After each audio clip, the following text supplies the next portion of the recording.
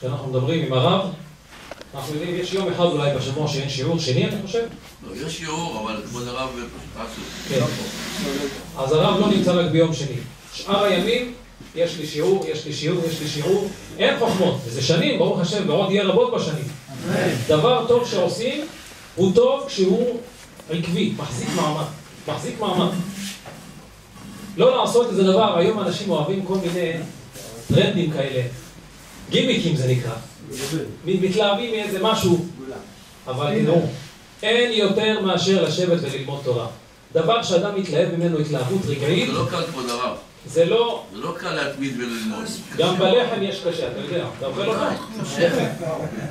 גם את הקשה של הלחם אוכלים. קונים פיתה ואוכלים רע. אדם לעמל יולד. ברוך השם, זה קשה, אבל הקדוש ברוך הוא נתן לנו כוח. תדעו לכם, הנה עכשיו אנחנו ערב הילולת הבבא סאלי. הצדיקים האלה, הצדיקים, איך הגיעו למה שהגיעו?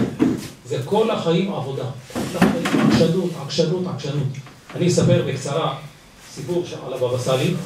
אני מניח שלא שמעתם אותו, כי אני שמעתי את זה מבן בן אדם ששמע את זה מכלי ראשון מבן אדם שהיה נוכח בשעת מעשה עוד במרוקו. והוא היה איתו במרוקו בצעירותו. הוא אומר, הם עלו לרכבת, והרב, זיכרונו לברכה, התיישב, בא מולו ישב איזה חייל גוי ערבי. בדיוק לא מצא איפה לשבת, מול הפנים הקדושות של הבבא סאלי. והרב, כנראה הצדיקים רואים מה שאנחנו לא רואים. לא הרגיש נוח שהוא לא יושב, כנראה לך תדע מה הוא ראה עליו, גוי טמא. לא היה נוח לו, ביקש מזה שהיה איתו, תגיד לו שיזוז, שיעבור מקום. תגיד לו שהרב ביקש ש... הלך אליו, ההוא היה חצוף, לא עובר מקום. בוא תגיד לו עוד פעם. תגיד לו, שהוא, תגיד לו שהוא בסוף יקום, או בטובות, או לא בטובות, אבל הוא יקום. הוא היה עז פנים בגיהינם, לא רוצה לקום. לא רוצה לקום. עכשיו, היה שם נוהל ב- ברכבת, שלפני שהיא נוסעת, קודם כל יש איזו שריקה, אחד עומד על מגדל הפיקוח כזה, הייתה שריקה, אחרי איזה עשר שניות יש שריקה שנייה. עכשיו, אחרי השריקה השנייה, הרכבת זזה.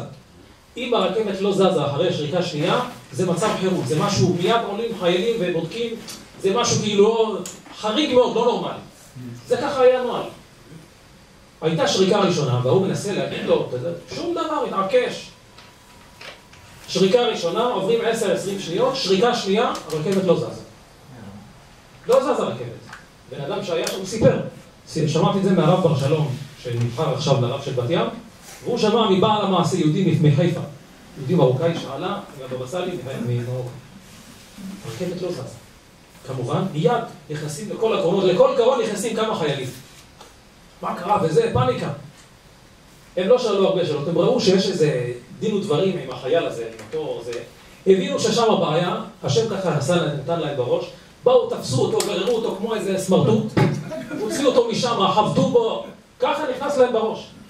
הוא גם נזרק מהרכבת, בבושת פנים, בדחיפות ומכות, ועכשיו, אז הרכבת נסעה.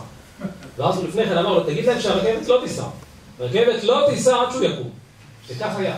שריקה, לא שריקה, שום דבר.